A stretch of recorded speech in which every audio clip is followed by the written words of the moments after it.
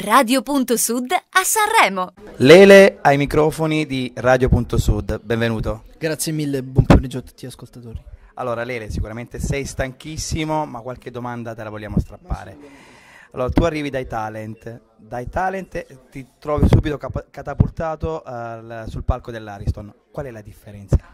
Ma diciamo che io arrivo dal talent uh, dagli ultimi due anni, in realtà io arrivo dallo studio della musica, io ho iniziato a tre anni e non mi sono mai fermato, sono 17 anni che studio, quindi arrivo qui con, uh, con, con le mie canzoni, con, uh, con, un disco fatto durante Amici con, uh, con, Elisa, che è stata fondamentale, e arrivo con la tranquillità di chi è felice di quello che fa.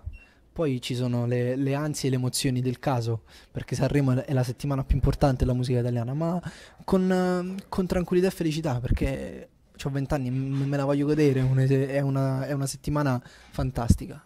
Beh, sono momenti da viverli, da, momenti che, si, che, capitano una volta, anzi io, noi ti auguriamo che te ne capitano sempre e, e ti auguriamo anche di arrivare anche nella, nella finale, ti faremo per te. Adesso però vogliamo conoscere il tuo singolo, Oramai. Oramai è una canzone che parla di, di consapevolezza. A volte in una storia arriva, arriva, il momento di stare in silenzio, dove non vale né la pena sentirsi dire delle cose né dirle. E quindi racconta di quel momento lì, eh, in modo a volte rabbioso, a volte deluso, a volte ancora innamorato. Eh, è una canzone che mi rispecchia sotto, sotto, tutti i punti di vista, sia dal punto di vista di suono che dal punto di vista testuale. Quindi sono molto, molto contento e orgoglioso di, di cantarla sul palco all'Ariston con l'orchestra. Noi siamo uh, onorati di, comunque di far ruotare il tuo pezzo che già da un bel po' uh, facciamo conoscere agli amici di Radio.Sud. Complimenti per la, per la tua voce per il testo e perché è un brano che comunque prende da, davvero tantissimo e ti facciamo un grande in bocca al lupo per tutto.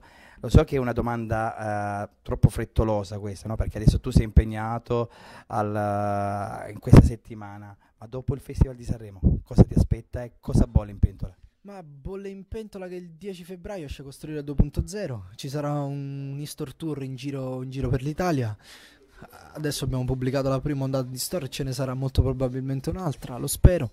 E spero tanti live, spero tanti live. E noi ti aspettiamo in Puglia. Assolutamente sì, grazie mille. Un saluto agli amici di Radio.Sud. Un saluto a tutti gli amici e a tutti gli ascoltatori di Radio.Sud. Da Lele.